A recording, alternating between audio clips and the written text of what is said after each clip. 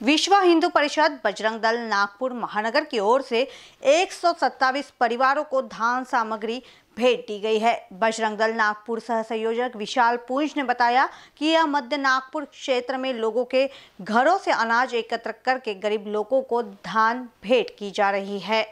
रितेश काशीकर, सुशील चौरसिया, निकी गायकवाड़, महेश भोरकर, मयूर आयचित राहुल आडवाणी कार्यकर्ताओं ने सहयोग से ये अनाज एकत्रित किया।